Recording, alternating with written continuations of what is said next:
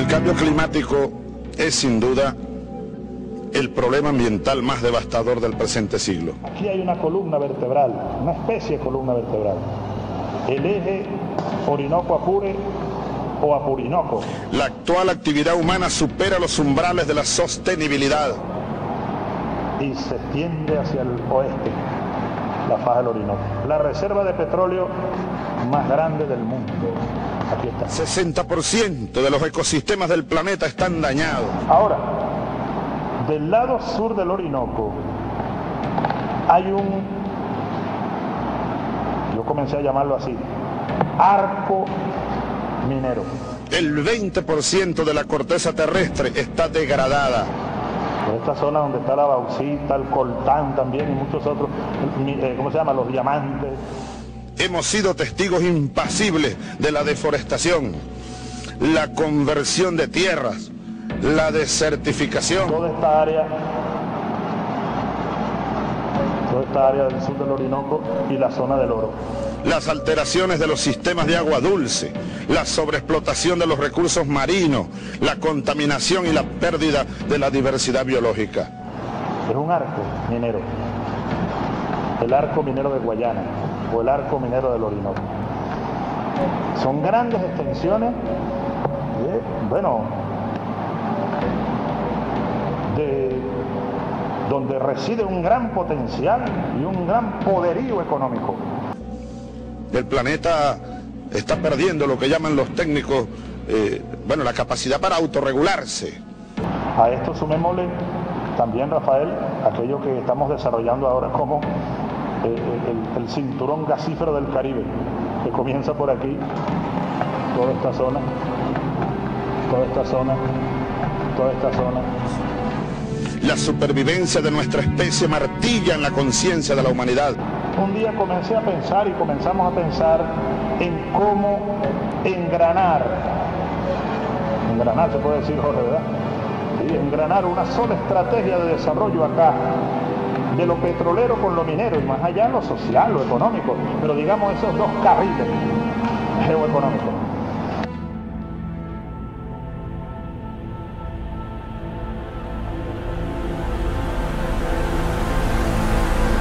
Ya a esta hora, el presidente de la República de Venezuela, Nicolás Maduro, lidera un encuentro con representantes de empresas, son 130 nacionales e internacionales, para mostrar las potencialidades de desarrollo de proyectos en el arco minero del Orinoco, que está localizado en el estado Bolívar.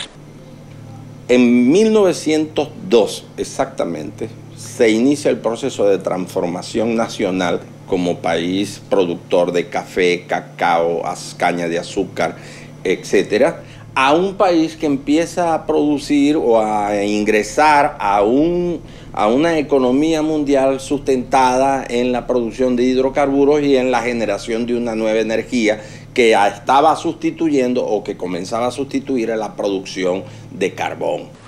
Durante esta actividad, el gobierno bolivariano activará el motor minero este es uno de los 14 motores priorizados por el Ejecutivo Nacional para fortalecer el aparato productivo del país. Desde que éramos colonia hasta la incorporación de Venezuela con el mercado petrolero, siempre la economía ha estado dependiendo de su incorporación o de la producción para el mercado mundial. Y eso siempre se puede considerar como uno de los elementos que explican el extractivismo. El término que nosotros manejamos como extractivismo tiene que ver simplemente con la extracción de recursos del ambiente natural.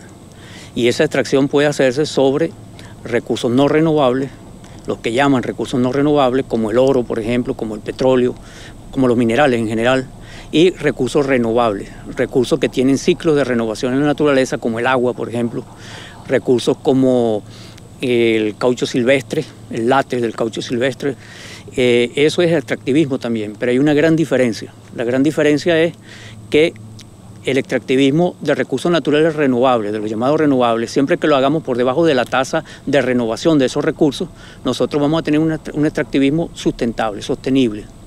¿Por qué? Porque no lo vamos a agotar, siempre se va a estar renovando, siempre se va a estar reproduciendo. Pero si nosotros trabajamos con la minería, ese extractivismo no puede ser un extractivismo sostenible, como incluso muchas empresas mineras lo están planteando para acá, para Venezuela. No es sostenible porque no se puede sostener algo que se agota en la medida que se extrae. Yo voy a proceder a firmar la creación de la zona estratégica de desarrollo integral del arco minero del Orinoco para darle sustento programática, sustento programático, orgánico, legal y económico al desarrollo integral de todo este arco minero del Orinoco. el arco minero del Orinoco es obviamente un proyecto de carácter desarrollista, con una magnitud o con una cualidad fundamentada en nuestro extractivismo que pienso está orientado hacia la exportación, ni siquiera a la transformación en el país, sino a la, exportación de materias primas, minerales, eh, que bueno, es una práctica más de lo mismo. Nosotros que somos una economía altamente dependiente de un producto extractivo como es el petróleo, pues un petróleo sobre el cual hemos desarrollado tecnología, capacidades de transformación, de agregación de valor, hoy que el petróleo vive momentos de bajos precios, pues la opción que el, Estado entiende, que el gobierno entiende ante esa situación es volver a otra práctica extractivista, esta vez con muchas menos capacidades de transformación, con muchas menos capacidades para agregarle valor a esos recursos.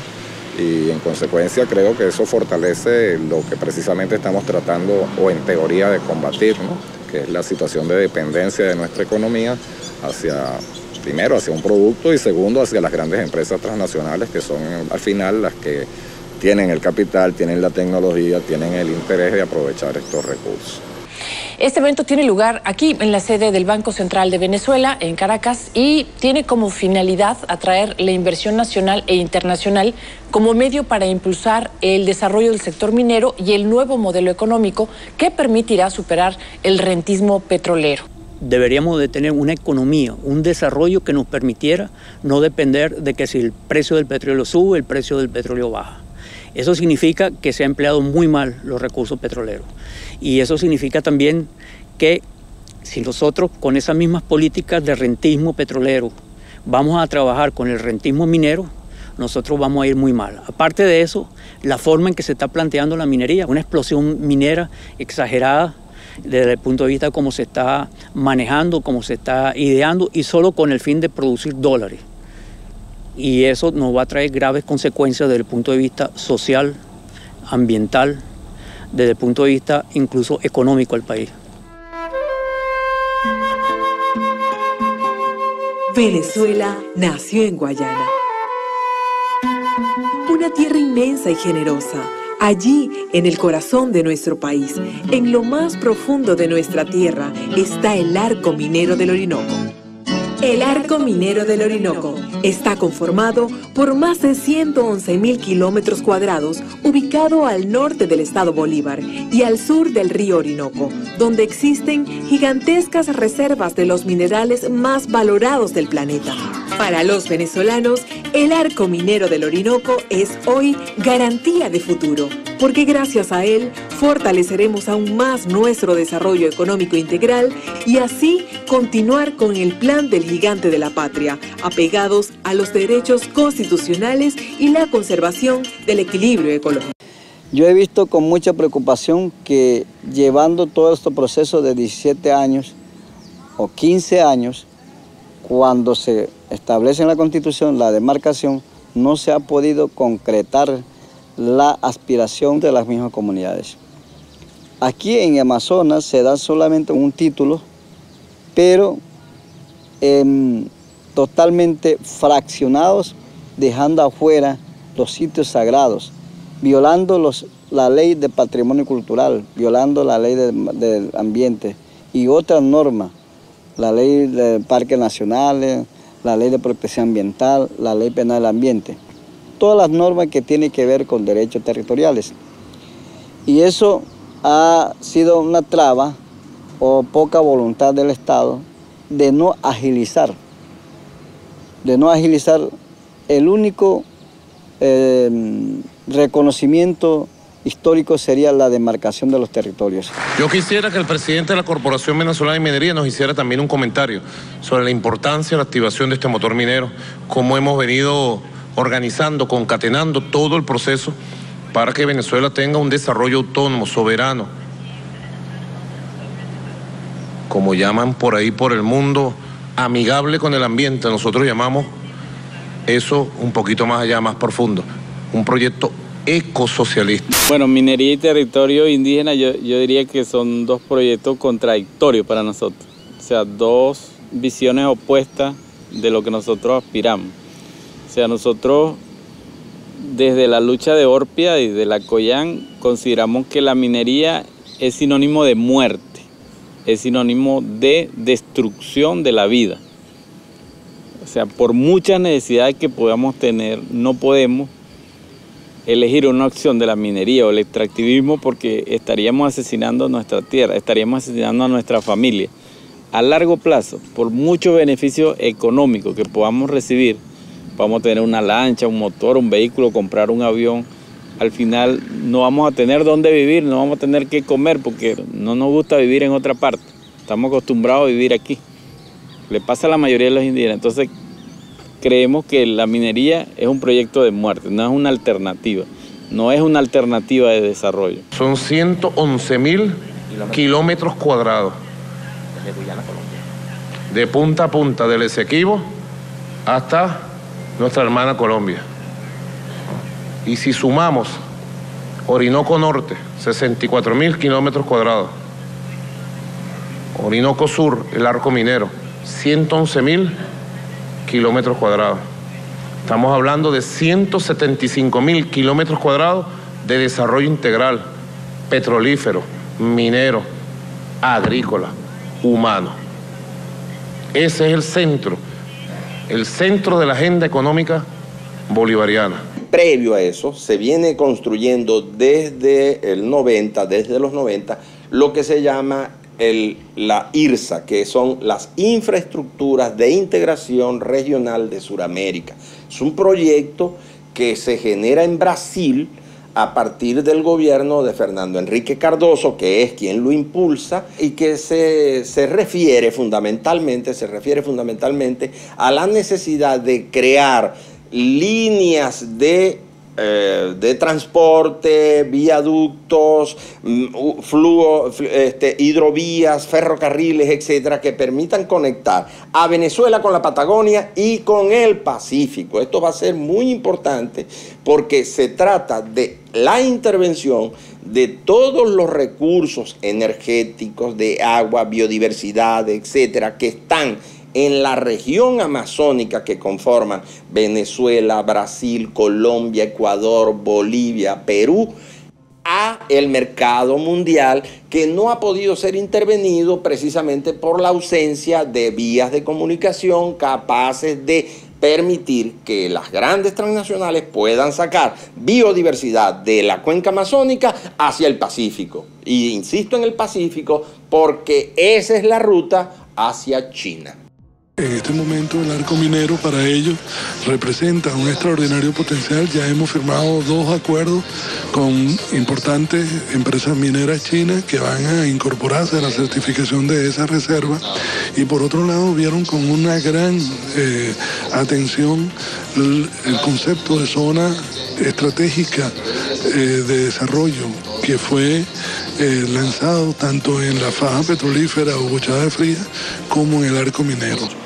Pero estos proyectos de desarrollo de la nueva política minera del Estado no solo afectan estos artículos de la Constitución de la República, el 119, demarcación de hábitat y tierras indígenas, y el 120, procesos de consulta previa de proyectos a implementarse en territorios indígenas, sino que también de alguna manera se afecta la propia ley orgánica de pueblos y comunidades indígenas, los procedimientos legales por ellas desarrollados en torno a la demarcación y en torno a la consulta, sino también convenios internacionales como el caso del convenio número 169 de la OIT que establece disposiciones muy precisas y concretas sobre temas de garantía territorial a los pueblos indígenas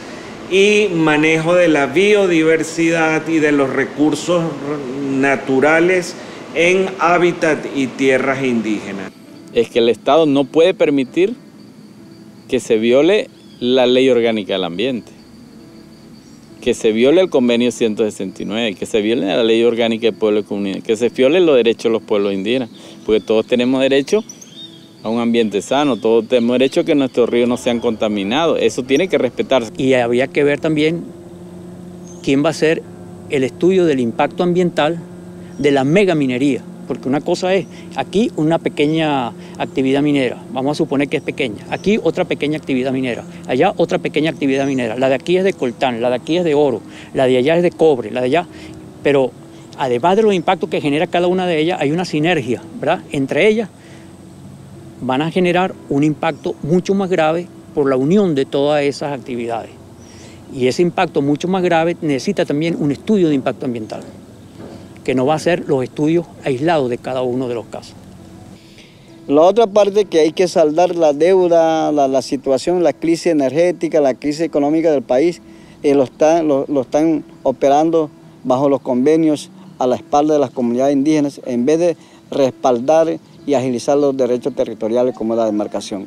El decreto que crea el arco minero, así como el decreto que amplía la producción carbonífera en la región de La Guajira, el Guasare y el río Socuy, están sustentados en dos cosas. Número uno, en el dominio territorial por fuerza militar, es decir, los proyectos de extractivismo están siendo resguardados por, el orden por un orden político que es militar. Es una forma jurídico-política que estableció el gobierno de Augusto Pinochet en Chile precisamente cuando se fueron a instalar los grandes proyectos extractivistas agrícolas en territorio del pueblo mapuche. En la actualidad, la lucha de los mapuches, por ejemplo, en Chile, está generando o ha generado el hecho, basados en esa ley este, y en esos decretos, eh, que los mapuches sean considerados por defender su derecho territorial y sus espacios, están siendo considerados y son juzgados como terroristas. Entonces, la población, los pueblos indígenas,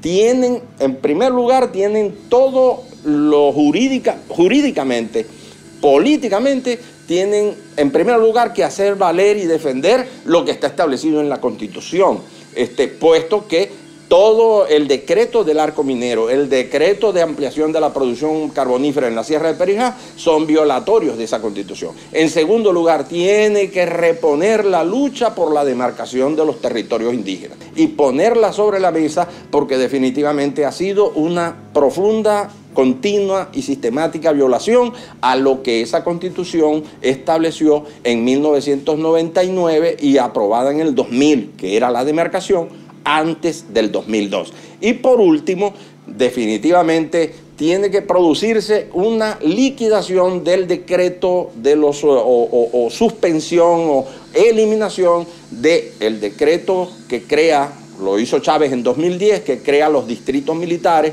y ningún distrito militar en zona indígena puede darse sin consulta de los pueblos indígenas y sin participación de los pueblos indígenas. Tiene entonces que establecerse una nueva relación entre los pueblos indígenas y el Estado venezolano. Países de los cuatro continentes de nuestro planeta están presentes aquí y eso no lo podemos nosotros obviar. Pero tampoco podemos obviar que aquí está la pequeña minería también, porque nosotros cuando hablamos de minería no solamente debemos hablar de gran minería, tenemos que hablar también de la pequeña minería, en donde hay una minería artesanal. Venezuela, desde 1885, por ejemplo, en el Callao, fue la primera explotación de oro, fue la primera vez que se conoció a Venezuela como un potencial eh, en oro. Y, los pequeños mineros están acá. Nosotros somos un país minero, seremos siempre mineros. Sin embargo, bueno, hay un acuerdo también con la pequeña minería de dar un salto cualitativo en donde, hermanos, saludos a todos los pequeños mineros que están acá con nosotros. La única manera de, de hacer que el territorio se mantenga es respetando la madre naturaleza. La única forma. Lo otros, como alternativa, desarrollar sustentablemente proyectos autogestionario, donde los pueblos indígenas implantan su plan de vida, su plan de trabajo, su sistema propio, mecanizado y articulado con, la, con, el, con el mundo que vivimos y compartimos. Por ejemplo, nosotros tenemos aquí posibilidades de que la gente tenga su propio ingresos económicos sin necesidad de depender de la minería.